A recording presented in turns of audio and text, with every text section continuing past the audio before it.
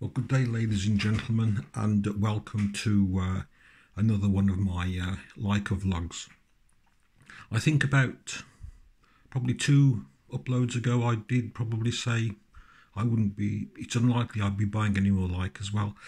I'm afraid uh, I have. You've already seen one of them, and that is the uh, the 1A, which is uh, lurking in the in the background. But the new member of the collection is a Leica 2 and uh, it sort of in one respect it's I suppose it's filled a gap.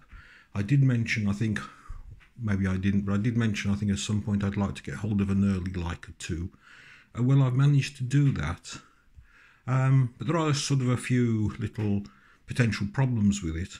Um, but first of all I think uh, we'll deal with the history of the uh, of the Leica 2.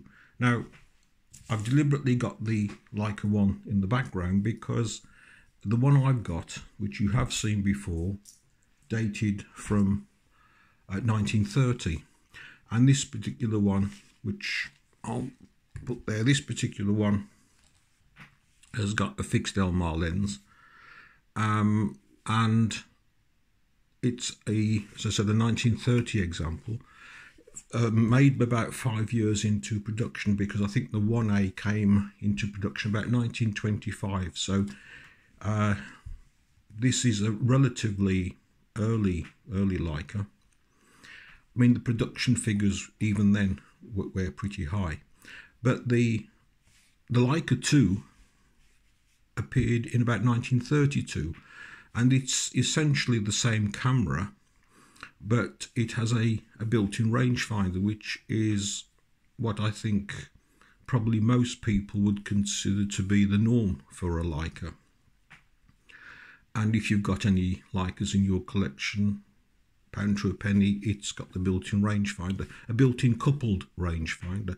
Now on this um, Leica one here, I've got it fitted with the, the rangefinder, but this is a separate rangefinder which goes into a little uh, bracket on the top of the camera.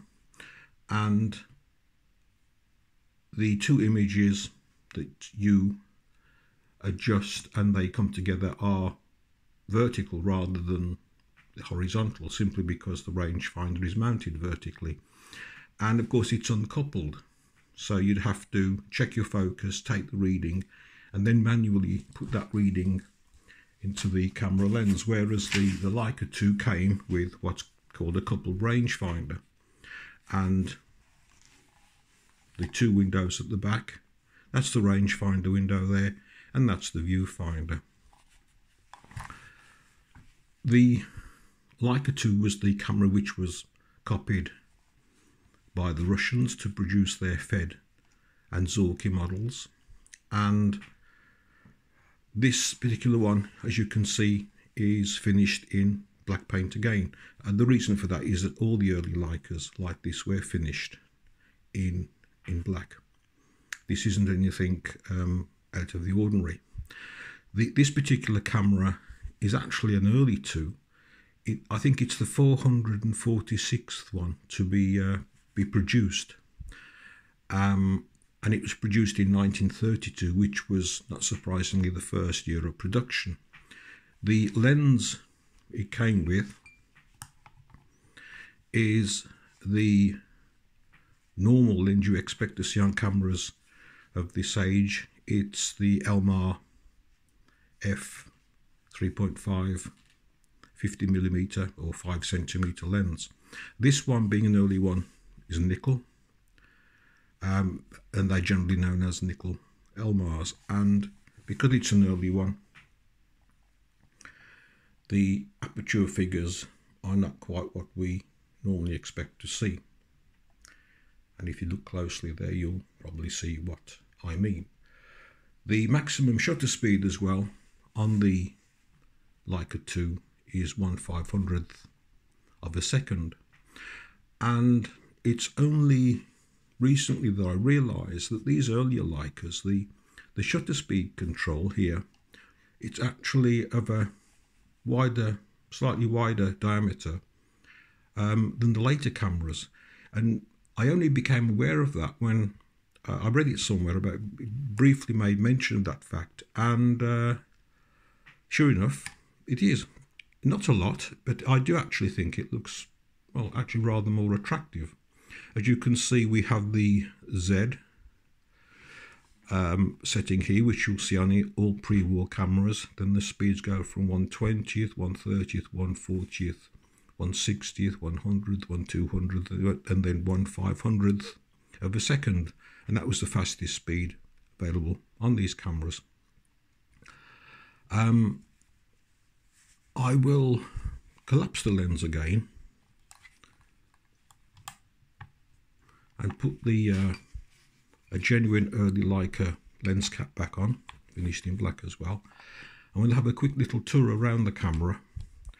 Um, taking the base plate off, you can see there the camera looks uh, quite clean. There's a take-up spool, which is I think of the correct early type. Apologies if you can't see this too well, but the the, this room, dining room, doesn't get very much light on it during the daytime.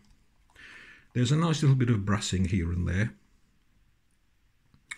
And this is, again, an early camera because we have this odd little sort of a plug here. And I think this was something to do with setting the focus up on the uh, where the cameras were being originally assembled or some setting anyway, and this one has it as well. You won't see that one on later cameras.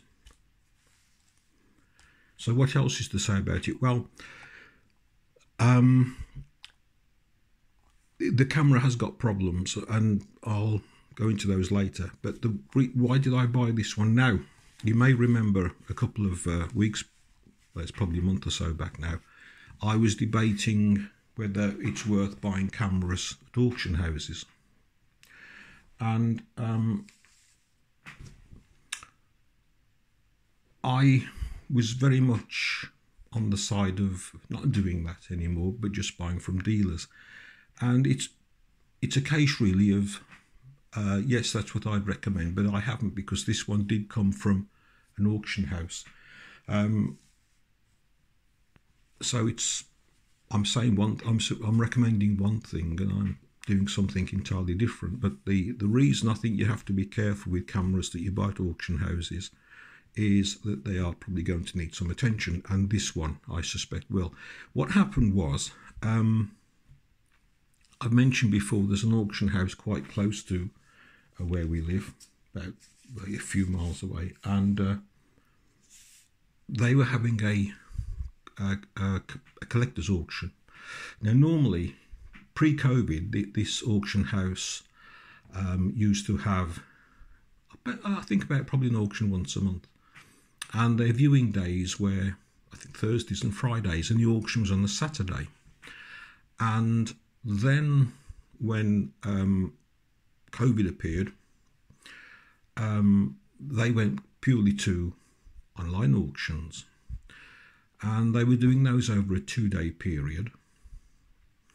Um, I don't know how you went about viewing items, whether you could make, I think you, maybe you could make an appointment and appear like that.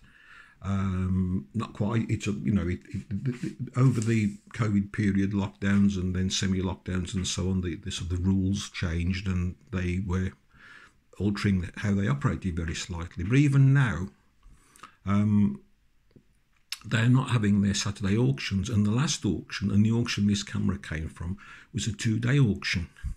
And uh, the viewing days, I think, were. I think they were Tuesday and Wednesday. Then the auction was Thursday and Friday. And um, I hadn't taken any notice of the lots, but my wife was looking through them because she's quite keen on certain bits of ceramics and she was just having a, a, general browse through what was available. And then she said, You know, there are Leicas here for sale and other cameras. And sure enough, there were. I think there were six Leicas, and there were a number of um, Hasselblads as well. Um, and the, the, the, usual thing, the, there was boxes of a collection of cameras which go for very little because nobody really knows if the cameras are working or not. But I was just interested in the, I think it was six Leicas anyway, and one particular one I immediately took an interest in was this Black Leica 2 because I've been after it too. Um, it sort of goes quite nicely with the with the one, and um, so we decided on one of the viewing days to go and have a look at it. Excuse me while I have a quick uh, slurp of coffee. And so we did, and um, I initially looked at the camera and um, I took the uh, I can't I think I can't remember in which order I did this, but I do my usual Leica checks. First thing I did was I had to listen to the shutter. Now the shutter appeared to be operating well, didn't appear to be sticking or anything like that. And um, but it did. I, I because it was quite noisy in there. I had the camera to my ear and I fired it a few times, and it, it actually sounded a bit sort of. Uh, it's difficult to. It, it didn't really sound like a Leica should should do. These cameras, I mean, these pre-war cameras, they don't make that schnick that the later cameras did. These do actually, in my opinion, they clunk. I mean, I've got quite a few of these. Some have been serviced, and others haven't, but they all sound the same. They are. They're not a quiet shutter, in my opinion. They're quite. They're quite noisy, quite loud. But this one had a it, it, felt a little bit dry. It, it's it's difficult to explain what I mean, but it's just vaguely slightly screechy. But that may have been because I had it really close to my ear. I don't normally do that, but it was quite noisy in there. Um, and I had a quick look through the lens, but the the, the auction room where it goes on isn't. It's quite dark, and I, I couldn't really tell whether the rangefinder was working or not. But when I took the uh, the lens off and I looked at the shutter blind, then the the, the first blind um, is okay. When I say the first blind, that's the one that you can see when the shutter's not cocked. But then as I round the the the, the uh, film advance through to the the blind that you can see when the shutter is cocked, clearly that shutter um, needs replacing. Uh, sorry, that blind needs replacing because it's crinkled. And it's a classic case of you know it's going to need some attention at some point. So now at that point, I said no. I, I, dismissed it and I put the lens back on and put it back in its case. It did come with a case, rather a nice case actually. Um, and in fact, I might cover cases one of these days. I've never, I've never, I've now amassed quite a few Leica cases, and they do sort of vary a bit. But um, anyway, I, I, sort of dismissed the camera. I thank them very much. Put the lens back uh, back on and put the camera back in its case. And really, sort of, I didn't think too much more about it. Um, now, at the same time, I, I hadn't quite forgotten about it. It's always lurking there because you don't see many of these early Leicas for sale that often. Um, well, at least not when you want one, if that makes sense. Probably now I don't want one. I'll probably find hundreds, but um, it, you know, it, it's it did look a nice camera, and um, I don't really know what the price these go for these days because, like like a lot of things, the prices seem to be all over the place. Um, but the camera, the auction house had valued it at between two hundred and fifty and three hundred pounds, which I've looked at their valuations before, and all auction houses do this. They they tend to be very conservative in their uh, in their values, and it goes for any item, um, not just not just cameras. Um, but I was talking about this with my wife, and she said, "Well, why don't you just put a a, a, um, a, a value on there that you're prepared to pay?"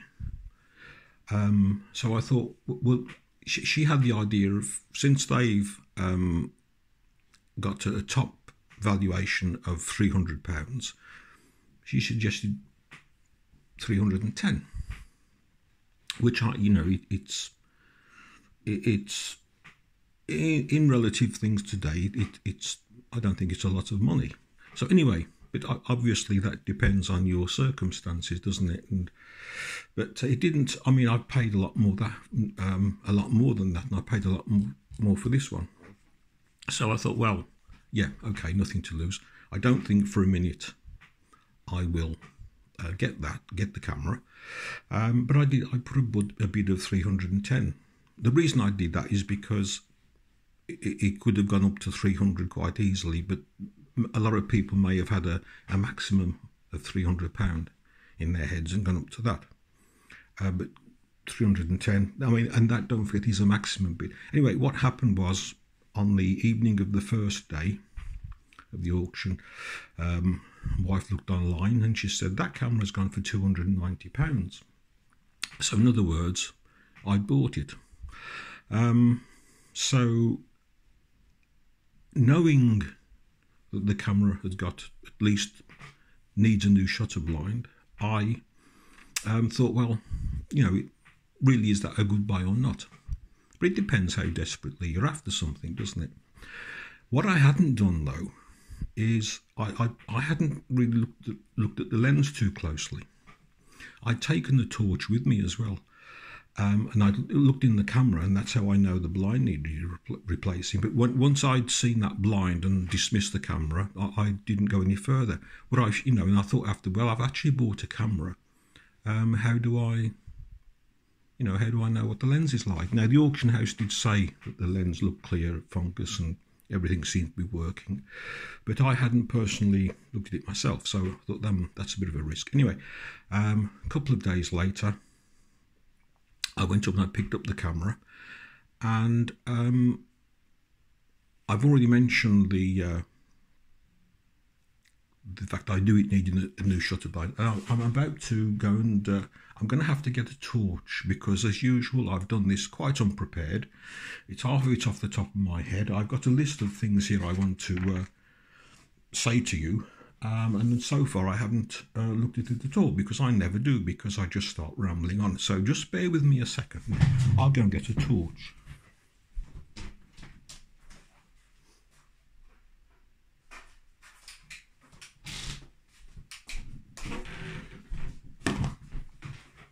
Right, so let's take the uh, let's take this lens off,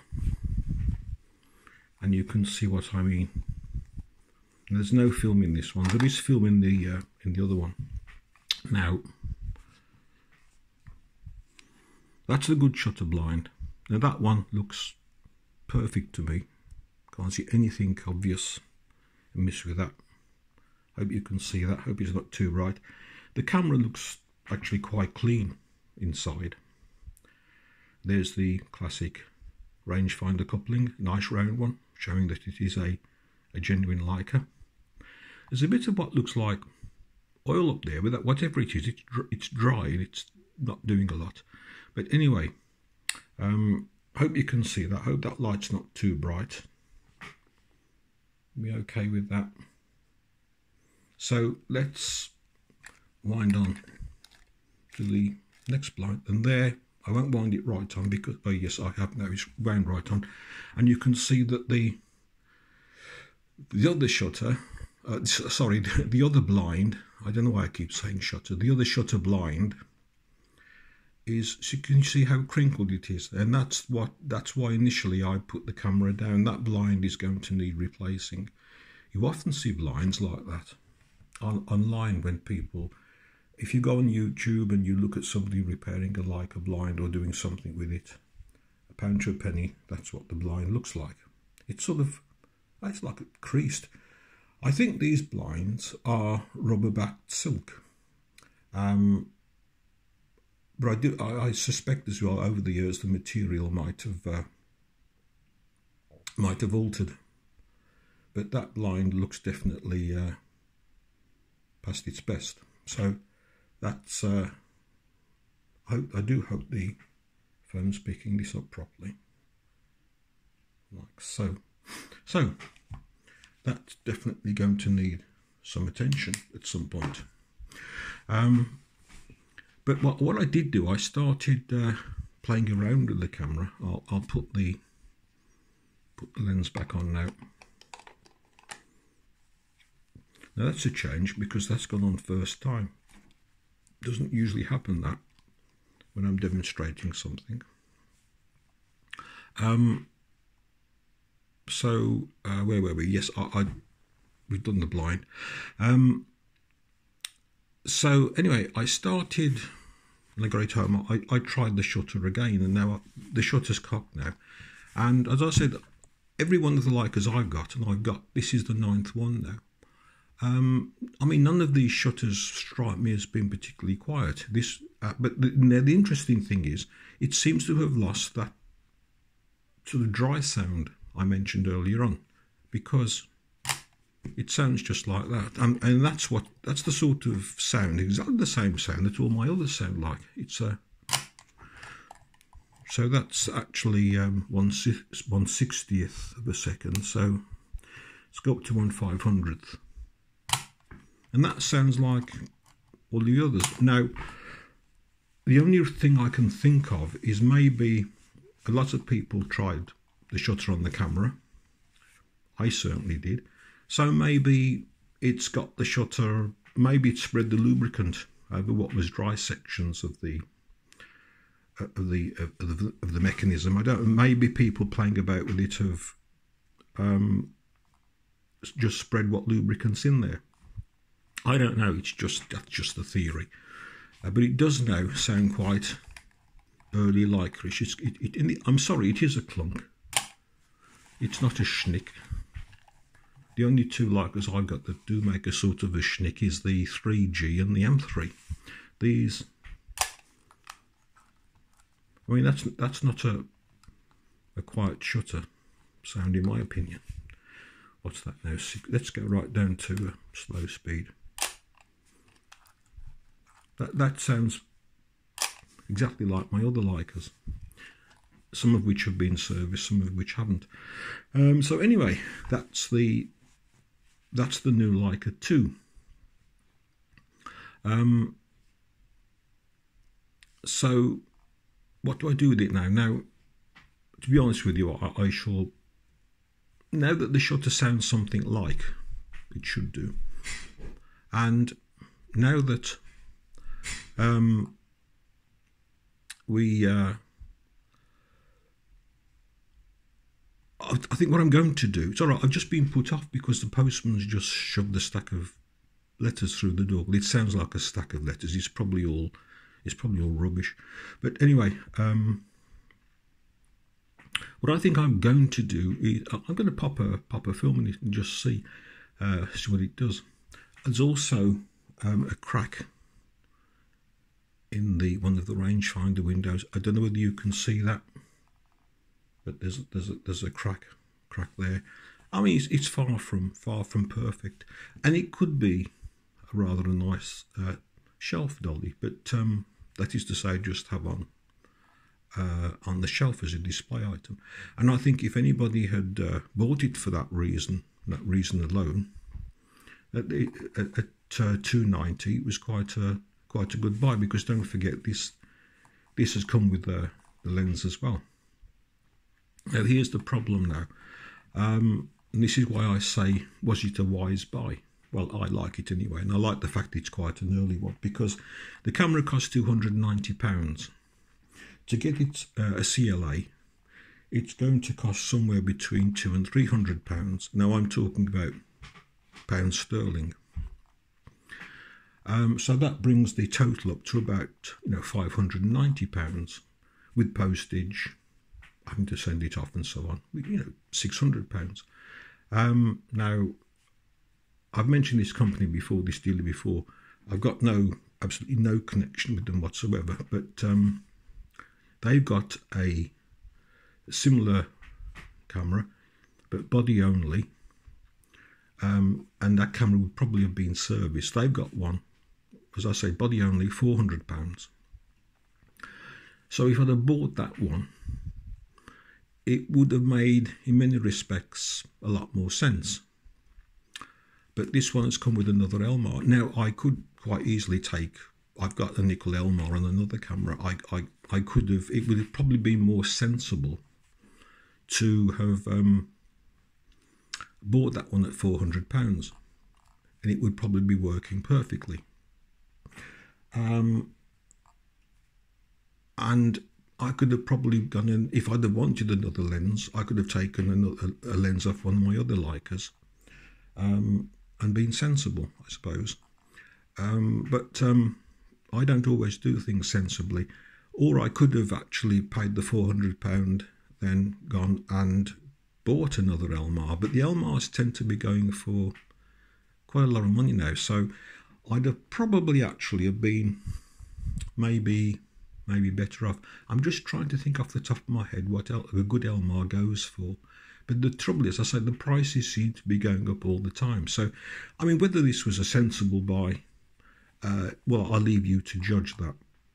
But um, so it's a it's a case of I said earlier on, don't don't uh, don't take any notice of what I've said because I've very much gone against what I intended to do. But I do think it's a it's a nice camera, and it'll be quite nice to invest a little bit of money in in it and get it back to its well, near original condition because it does look quite quite clear. I think um, I've said everything I need to say about the camera. No doubt when I stop the recording, I will think of a few other things as well. Um, so, I mean, there's the, as I've said, uh, um, it, it's a difficult decision to make sometimes. Probably, in in essence, a, a, wrong decision. But on the other hand, um, it may it may well work. I'm expecting to see uh, with that shutter in that state, shutter blind in that state. I'm expecting to see. Um, well, little sort of twinkles of light. If you go online, you you you can often find somebody's deliberately uploaded photographs of focal plane shutters that one of the blinds, one of the blinds is porous, and you get little dots, white dots. If it's if you're looking at a positive, if you're looking at a negative, you'll have little black dots. But looking at a positive, you'll have these little white dots all over the place, like little sort of stars. Um, so it'll be interesting though to see what happens, and I, I will. I'll keep. I'll keep you updated about what I decide to do with it.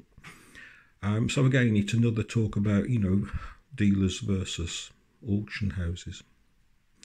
Um, but I, I say the camera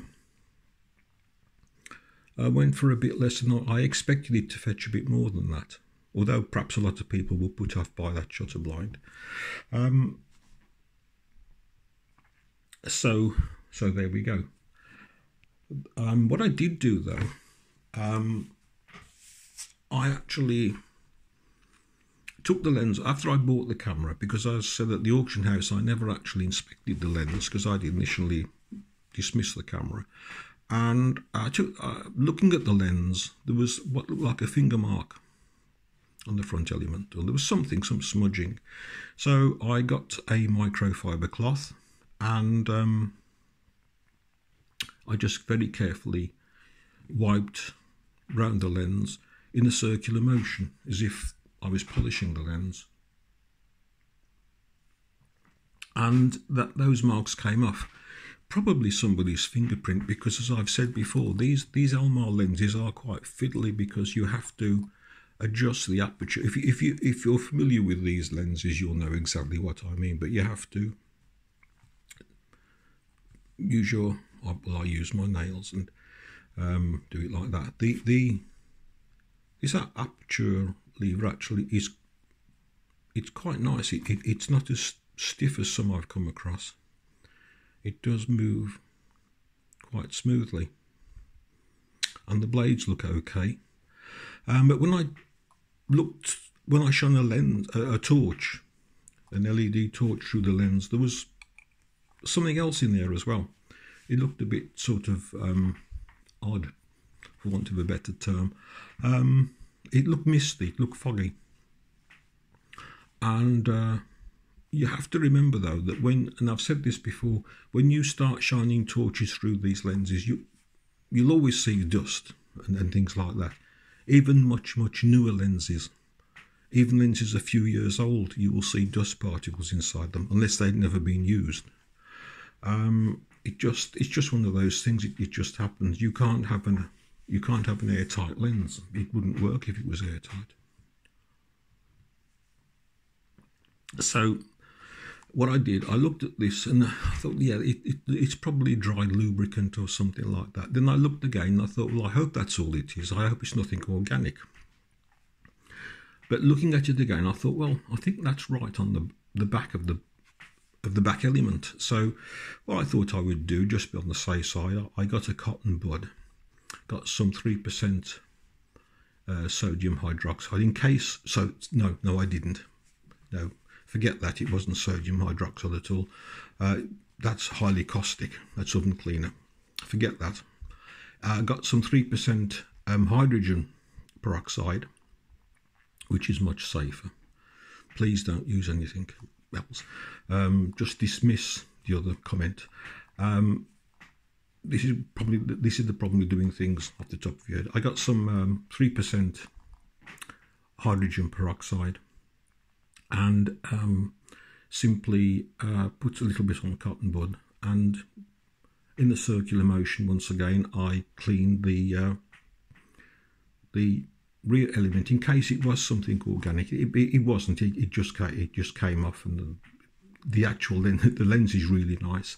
So I put the lens on my Panasonic GX7 and took a cracking shot in the garden close. Well, you can't not not super close up, but remember that if you put these one one of these on the Panasonic, it it instantly becomes a hundred millimeter lens. And I, I we've got a, a, a, metal bird back in the garden with a, a, metal robbing sitting on it, and I always use that for lens testing. And believe me, um, the result is excellent. So I, I'm very happy with the condition of the lens because that was a risk because I hadn't inspected the lens. So a little bit of um, incidentally, if you if you want to get hold of some um, hydrogen peroxide, you can buy it online. Um, in fact, sometimes if you go into a chemist shop in the certainly in the UK, I think you might be able to just buy it over the counter. It, it's used for all sorts of things, mouthwash, um, and I think general cleaning, you know, if if, if you've got uh, fungus growing somewhere, you know, it, it's quite a useful thing to have in the house. And but I say that is, and I'll say this again, that's three percent hydrogen peroxide. That's the stuff that people tend to use for getting anything they might think nasty off a lens. And I'm talking, when I say, you know, organic, I'm talking fungus. But what was on the back of that certainly wasn't fungus. It's just come off very, I think, I don't know what it was, quite frankly, but it's not there now. And the lens has, the lens has um, performed uh, really well. So anyway, that's 33 minutes now. I've been rambling on about this. So anyway, there's the Leica 2. Any comments? Well, you know where to do those um, and a little bit below. This will probably be the last vlog I do for this year. I was going to do one actually on, on, on the Leica cases, but I'm not sure. If anybody would like me to do one looking at the various different Leica cases, um, I'll do that. And currently, I've been treating quite a few of mine uh, with leather oil. But uh, anyway, I think that's it, ladies and gentlemen. So there's the Leica one. I'll take this off. Now because it does look quite odd with that thing sticking up. There's a Leica 1 and there's a Leica 2. So uh, thank you very much. And uh, I'll speak with you soon. And take care. And I'll speak with you maybe maybe next year. I don't know. Um, but if, if if this is the last time if this is the, if if this is the last upload this year then I'd like to wish you uh, all a very happy new year and uh, I'll see you soon.